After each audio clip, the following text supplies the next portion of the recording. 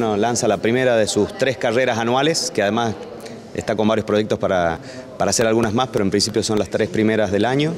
Eh, esta eh, se inicia en Humahuaca, que nos permite de alguna forma eh, generar un movimiento turístico extra al que ya naturalmente tiene Humahuaca y la quebrada, porque además esto muchas veces también genera rebalse en estos puntos turísticos. Para nosotros es muy importante trabajar con el deporte, generar este tipo de, eventos deportivos que, movilizan al turismo, además se hace en circuitos realmente espectaculares, la posibilidad de de, promocionar también el destino con, las fotos que se van generando a lo largo de la carrera, eh, combinada con otros eh, eh, eventos deportivos que venimos acompañando y, trabajando y promocionando, como por ejemplo este fin de semana este, se hace el Campeonato Argentino de Abogados, que mueve cerca de 2.000 abogados en, la provincia, que van, van a estar desde, desde el miércoles hasta el domingo.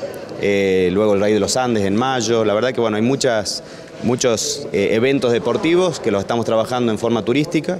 Eh, hay un concepto que es el turismo de reuniones que apunta justamente a trabajar cuando eh, estamos en temporada baja o cuando tenemos, no tenemos fines de semana largos. Jujuy viene bastante bien conceptuado en lo que tiene que ver con turismo a nivel nacional y a nivel internacional y uno de los este, desafíos es justamente trabajar para romper la estacionalidad, para tener turismo durante todo el año, no solo en vacaciones de julio, no solo en Semana Santa, no solo en Carnaval, no solo en los fines de semana largos, sino eh, en cualquier fin de semana convencional y bueno, este tipo de eventos nos ayuda a, consolidar el destino y trabajar para aumentar eh, el pernocte, para aumentar eh, el nivel de ocupación y de paso para promocionar Jujuy de distintas formas.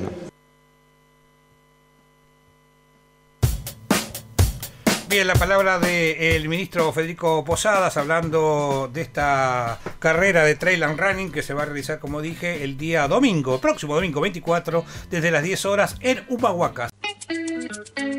Sentí y viví el turismo. Sentí Argentina. Sentí Argentina. En Radio Dime, AM 1420.